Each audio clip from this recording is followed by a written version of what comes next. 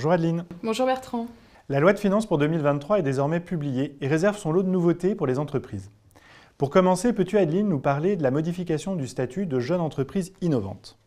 Les PME créées depuis moins de 11 ans et qui engagent au cours de chaque exercice des dépenses de RD, représentant au moins 15% de leurs charges fiscalement déductibles, peuvent prétendre au statut de jeune entreprise innovante et bénéficier d'exonérations fiscales, impôts sur les bénéfices, impôts locaux.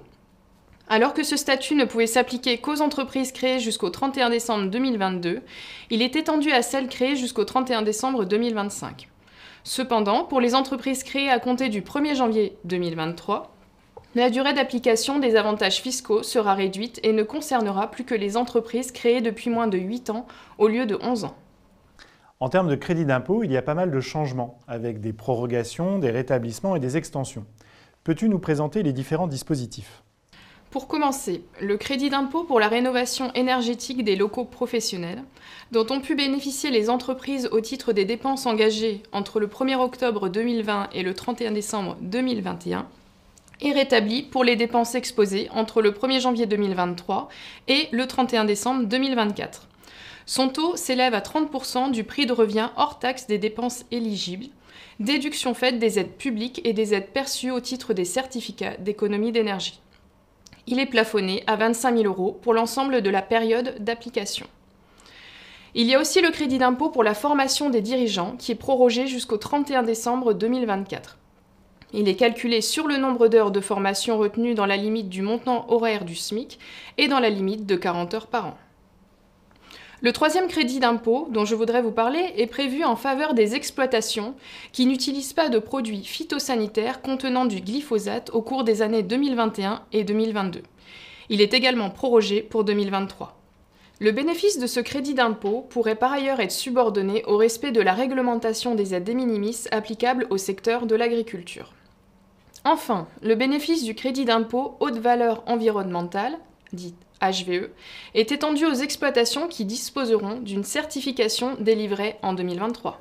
Si on reste dans le domaine agricole, je crois qu'il y a eu du nouveau sur la déduction pour épargne de précaution, autrement appelée DEP. Oui, le régime de la DEP qui s'applique aux premiers exercices clos du 1er janvier 2019 au 31 décembre 2022 est prorogé jusqu'aux exercices clos au 31 décembre 2025. Le plafond annuel de la déduction, tranche de bénéfices et montant de la déduction, sera réévalué chaque année, le 1er janvier, en fonction de la variation de l'indice des prix à la consommation hors tabac constaté au titre de l'année précédente. Ce mécanisme d'actualisation s'appliquera aux exercices clos à compter du 1er janvier 2023 en tenant compte de la variation de l'indice des prix à la consommation hors tabac constaté au titre de 2022. Cette année, la loi de finances fait la part belle à la TVA avec un taux réduit qui est prorogé, élargi ou redéfini selon les biens ou services concernés. Peux-tu nous aider à y voir plus clair? Tout d'abord, nous allons parler des produits agroalimentaires et produits agricoles. Le taux de TVA de 5,5% dans le secteur agroalimentaire est à nouveau élargi. En effet, est abaissé de 10 à 5,5 le taux de TVA applicable aux aliments pour animaux eux-mêmes destinés à la consommation humaine. Par exemple, les aliments pour les volailles, les bovins. Est également abaissé de 10 à 5,5 le taux de TVA applicable aux produits d'origine agricole, de la pêche, de la pisciculture ou de l'aviculture, normalement destinés à être utilisés dans la production agricole, qu'ils aient fait ou non l'objet de transformation. Exemple, les animaux vivants destinés à l'engraissement ou à la reproduction, les poules pondeuses, les chevaux de labour, les semences, les plants, etc. Ces changements de taux sont applicables aux livraisons réalisées à compter du 1er janvier 2023. Il y a ensuite le cas des travaux de rénovation énergétique. Ceux éligibles au taux réduit de TVA à 5,5 sont redéfinis et les matériaux et équipements éligibles seront fixés par arrêté. Devraient être exclus tous les équipements fonctionnant au moyen d'énergie fossile. Ces mesures entreront en vigueur au plus tard le 1er janvier 2024. Le dispositif du taux réduit de TVA à 5,5%, applicable aux travaux d'installation et d'entretien de bornes de recharge pour véhicules électriques, fait, quant à lui, l'objet d'aménagements spécifiques. Enfin, Le taux réduit de 5,5% applicable au matériel et produits de protection contre le virus Covid-19, masques, tenues et produits d'hygiène corporelle respectant certains critères, est prorogé une nouvelle fois jusqu'au 31 décembre 2023. Passons maintenant aux cessions d'entreprises individuelles ayant opté à l'impôt sur les sociétés. Qu'est-ce qui a changé? La cession à compter du 1er janvier 2023 d'une entreprise individuelle ayant exercé l'option pour le régime de l'impôt sur les sociétés sera assimilée à une cession de droits sociaux et non à une cession de fonds de commerce pour la détermination du montant des droits d'enregistrement. De manière générale, taxation sur la valeur de l'entreprise individuelle cédée au taux de 3% ou de 5% en cas de prépondérance immobilière, après application d'un abattement de 23 000 euros. Les régimes d'étalement des subventions publiques ont été élargis. Peux-tu nous en dire plus? Les subventions d'équipement accordées à une entreprise par l'Union européenne, l'État, les collectivités publiques ou tout autre organisme public, à raison de la création ou de l'acquisition d'immobilisation déterminée, peuvent, sur option, faire l'objet d'une imposition étalée. Le bénéfice de cette imposition étalée est étendu aux subventions accordées par les organismes créés par les institutions de l'Union européenne et seront concernées les sommes perçues à raison d'opérations ouvrant droit à l'attribution de certificats d'économie d'énergie. Une extension analogue du dispositif est mise en place pour les subventions allouées aux dépenses de recherche immobilisées. Intéressons-nous maintenant à une mesure mise en place pour faire face à la crise énergétique.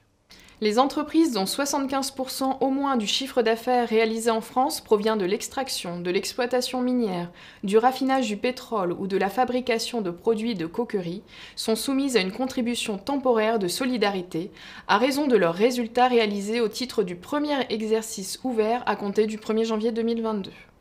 L'assiette de la contribution est égale à la différence entre le résultat imposable du premier exercice ouvert à compter du 1er janvier 2022 et 120% du montant moyen des résultats imposables constatés au titre de l'ensemble des exercices précédents ouverts à compter du 1er janvier 2018. Le taux de la contribution s'élève à 33%. Elle ne sera pas déductible du résultat imposable et les réductions, crédits d'impôt et créances fiscales de toute nature ne seront pas imputables sur son montant. Une mesure de cette loi de finances concerne les agents généraux d'assurance. De quoi s'agit-il exactement? Les indemnités compensatrices versées par les compagnies d'assurance à leurs agents généraux lors de la cessation de leur mandat, conclu depuis au moins 5 ans, à l'occasion d'un départ en retraite, sont exonérées d'impôt sur le revenu à condition que l'activité soit poursuivie par un nouvel agent dans le délai d'un an. Les textes ne fixaient pas de délai précis entre la cessation du contrat et le départ à la retraite, mais l'administration estimait qu'il ne pouvait excéder le délai d'un an. Le délai dans lequel l'agent général doit faire valoir ses droits à la retraite et le délai dans lequel la poursuite de l'activité par le successeur doit intervenir sont désormais fixés à deux ans, à compter du 3 décembre 2022.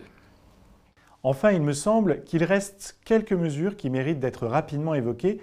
Peux-tu nous les résumer? En effet. Concernant l'impôt sur les sociétés, la limite de 38 120 euros de bénéfices imposables par période de 12 mois bénéficiant de plein droit d'un taux réduit d'IS de 15% est portée à 42 500 euros. Ce nouveau plafond s'applique pour l'imposition des résultats des exercices clos à compter du 31 décembre 2022. Ensuite, concernant les impôts locaux, la CVAE due au titre de l'année 2023 sera diminuée de moitié et supprimée en 2024. Enfin, il y a une nouvelle obligation de tenue de registre pour les prestataires de services de paiement.